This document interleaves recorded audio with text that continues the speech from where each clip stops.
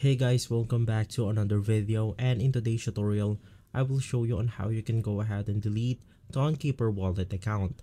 This is a step-by-step -step guide so you should be able to follow easily. Now, you want to go ahead and open up the application for the Tonkeeper wallet and once inside the account that you want to delete, you can just go ahead and click on the gear icon at the corner of your screen.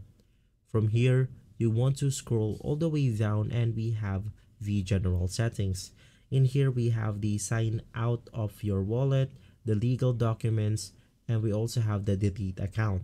You want to go ahead and click on the delete account option and from here, we will then go ahead and see that wallet keys and all personal data will be erased from this device. To proceed, you want to click on the checkbox and from here you could just go ahead and click on delete wallet. Now just go ahead and make sure that you have a backup copy of your recovery phrase for this account if you wish to recover it in the future. But to proceed, you want to click on delete account and the account will be deleted.